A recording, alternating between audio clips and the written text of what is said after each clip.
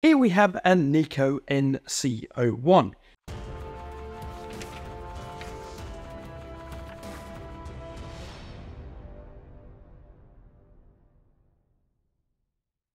Today, can I tell what type of rider this person is by the wear and tear on his bike? So today we're going to just go through a couple of things on the bike and I'll be able to tell you how the person rides their bike just by looking at how the bike has worn. So this bike has 3,800 miles on it. First thing to tell is obviously the general condition of the bike. This bike is kind of tidy. It does have some road dirt on it and you can tell that this is used for a daily commuter just because of doesn't matter how often you ride your bike you, there's still places on the bike that you can't get that dirt out and you can tell by the color of the dirt on the wheel whether they've been using it on road off road if it's like a grey sort of color then it's generally used on road and that's all the salt and dirt and tire dust off of the other vehicles going onto that wheel should you clean it off? Shouldn't you clean it off? There's certain parts that you definitely should clean it off, and there's definitely some parts of the year that you should definitely clean it off. Like in winter, you should really clean your bike at least once every two weeks because of the salt on the road. You don't want it to get that into your metal on your uh, bikes because it will corrode it. But during the summer, should you leave it? Sometimes it makes a coating of a greasy compound that protects it slightly from the elements so is is 50-50 in the summer whether you should clean it every two weeks or every month or so. There are certain places, like I said, that you do need to maintain clean and service regularly, i.e. the forks. You should really go around those with a greasy rag once a week, just just wipe them off. Once they start getting pitted, you're going to start getting issues with um, your fork seals go because the rust is going to go up and down those fork seals and it's just going to wear them away. So best off just cleaning it up. This one is quite clean.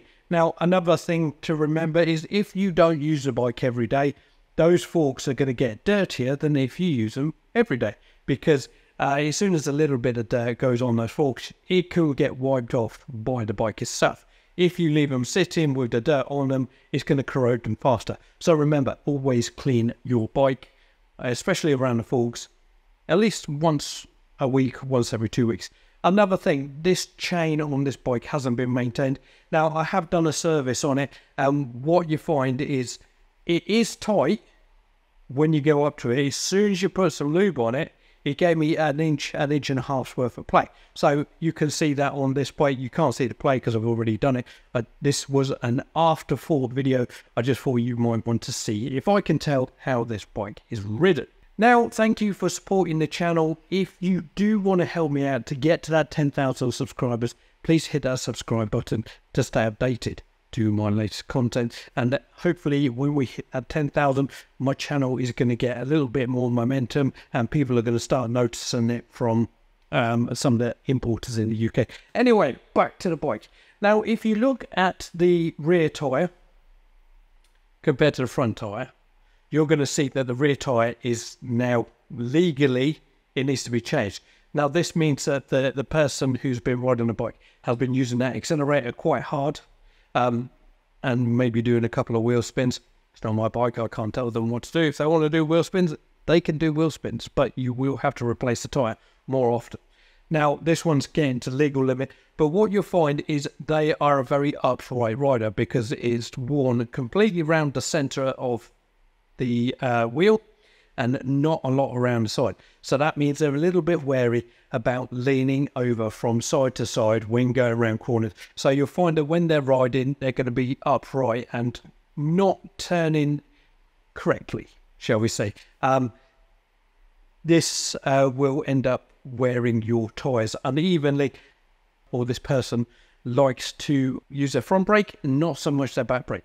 You can tell because the front brake is almost worn out and it is starting to bed into the disc.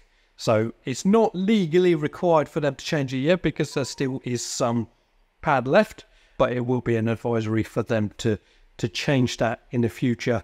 Really and truthfully, I would suggest they change the disc on this one as well because it has started to bed unevenly. You can, in theory, sand it down and make it even again, but if it gets below 3 mil, you've you're supposed to change it. The back wheel is worn, but the brake pads on the rear aren't. The front tyre isn't worn, and the brakes are. So they don't like yanking on those front brakes, but they do use those front brakes more than they use the back ones.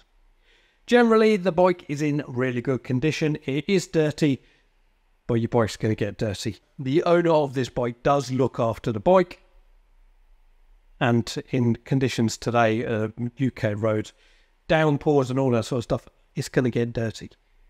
Just make sure you protect it beforehand. You can use something like ACF 50. Don't spray on your tyres, don't spray it on your brakes, but pretty much everything else. And that should stop it from corroding. Also, make sure you clean it. So anyway, this is just a snapshot of can I figure out how this person writes. And this is the information that I found. Hopefully you'll find this information useful and go and check on your bike and see how you ride with the information that I provided and tell me in the comments below.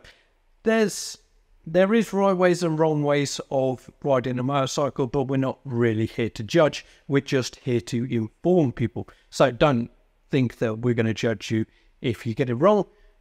Just know that now you know the right way to do it, and everything is a learning experience.